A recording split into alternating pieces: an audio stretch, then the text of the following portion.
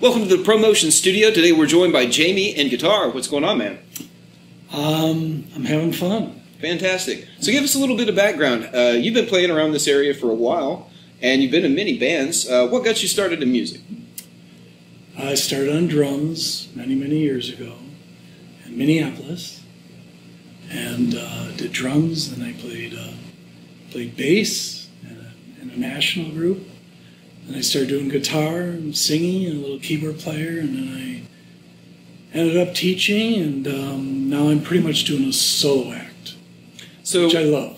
being a multi instrumentalist, uh, so you picked up drums first. What made you want to just pick up the other instruments? Just interest in the band stuff, or Uh, there was a need not need? Yeah, that's that's pretty typical. Yeah, and you know, I played a lot of drums, and um, you start to itch for other instruments, and before you know it, uh, yeah, I was just playing them all. And different groups, opportunity came along, and they needed a bass player, they needed a guitar player, and so I just filled what was needed.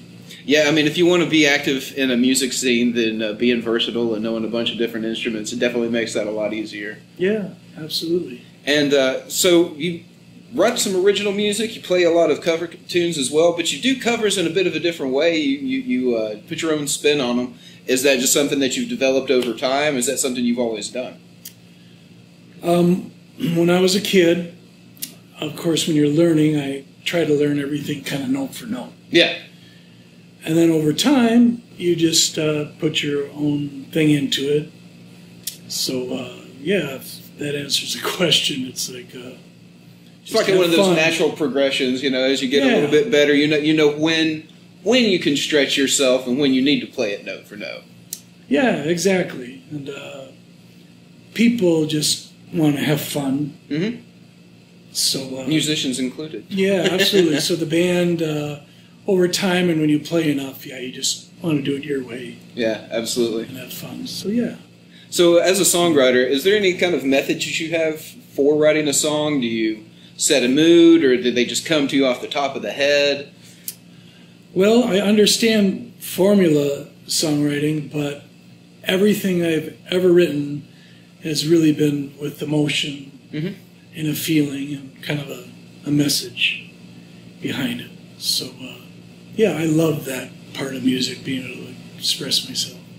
Uh, You got to set a mood or anything, or is it just one of those like sometimes you're driving and just a melody or some lyrics come to the mind?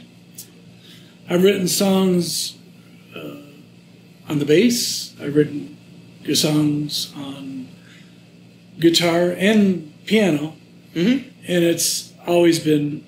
I've had a feeling or an emotion, and whether it's uh, happy or the blues, you know, I just sat down and You just grab whatever's close, or do you have like a sound in mind? Like I need to play this on piano, or I well, need to play guitar this is always bass. very handy. Yeah, yeah. So a lot of it's guitar, but you know, I, play all the parts almost always to, to all the songs. So, uh, but you know, the main comp composition, I guess, is usually guitar. So yeah, I just got a feeling, some emotion, start strumming away, and get a melody in the head, and put it all together. Right on. Yeah. And uh, you've put out some original music as well, correct? Um, well, I have a few songs published. I've done a f- three, four albums. I haven't pursued it greatly. Mhm. It's been more for the joy and love of it. Right. But uh, yeah, I've been part of a lot of projects and a lot of a lot of music in different different ways. Any uh, any ambitions to release uh, new any more music in the future? I'm still writing all the time, Yeah.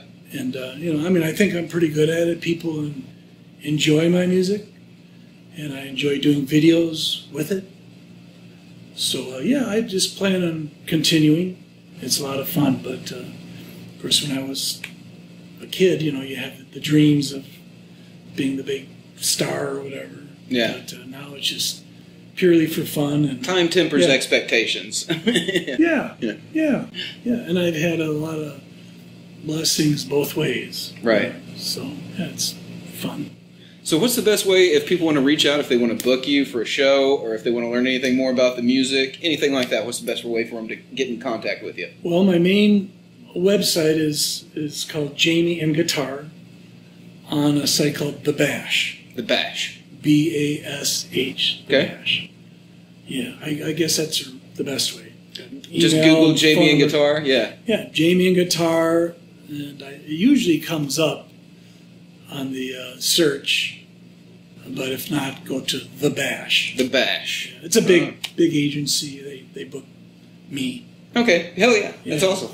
Yeah. Fantastic.